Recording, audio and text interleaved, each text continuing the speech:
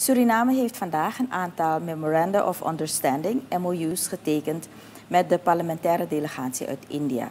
In de ballroom van de Royal Turarica zijn er vandaag drie MOU's getekend. Een van de MOU's getekend is die tussen het Surinaams Standaardenbureau SSB en het Indiaas Standaardenbureau.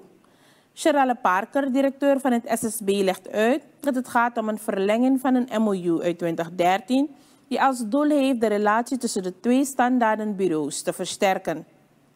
Parker legt uit dat de MOU van 2013 veelal gefocust was op capaciteitversterking en er zijn reeds diverse trainingen gevolgd.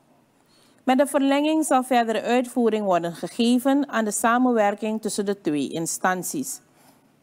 De afgelopen periode gewerkt aan een actieplan waarin wij de verschillende onderwerpen van samenwerking hebben vastgelegd. En we zullen de komende periode dan verdere uitvoering geven daaraan. Uh, behalve met India heeft het Sanara Bureau Suriname ook een samenwerking met andere uh, bureaus in andere landen? Ja, dus we hebben met India een staande samenwerking, maar we hebben middels de regio CARICOM hebben we ook samenwerkingen met Sanara Bureau uit de regio, zoals Trinidad. We hebben ook een samenwerking met Jamaica, maar allemaal onder die samenwerking met CARICOM, vanuit de CARICOM-organisatie. En wat is het doel, een algemeen doel van al deze samenwerkingen?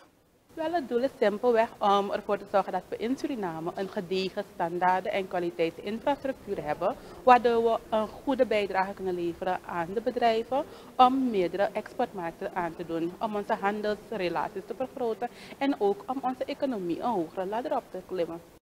De Indiase ambassadeur in Suriname, Shankar Balachandran, zegt dat er ook een overeenkomst is getekend voor culturele uitwisseling. Dit vindt plaats in het verlengde van de culturele overeenkomst van 1992. De derde MOU is getekend in het kader van de volksgezondheid. Balachandran zegt dat er reeds een bestaande relatie is op dit gebied. And uh, it includes uh, also uh, uh, you know, exchange of experts in various fields like dance, theater, archaeology, anthropology, and also holding cultural festivals in each other countries. Uh, and visit of cultural delegations to each other's countries, exhibitions, and so on. Uh, we uh, gifted medicines and you know, vaccine, vaccines in 2020-2021. And most of the medicines being sold here in Suriname is of Indian origin. Uh, so this uh, health is, uh, is again an example of practical collaboration between the two countries.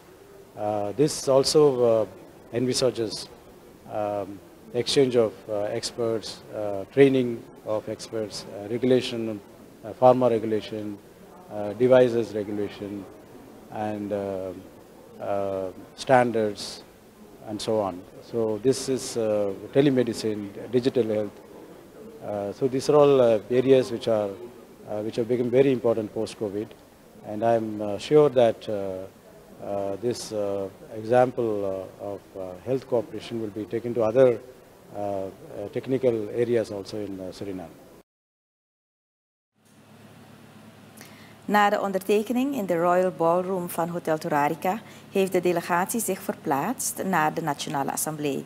Daar hebben het secretariaat van de Nationale Assemblée en het secretariaat van het Huis van het Volk van de Republiek India ook een Memorandum of Understanding met elkaar getekend.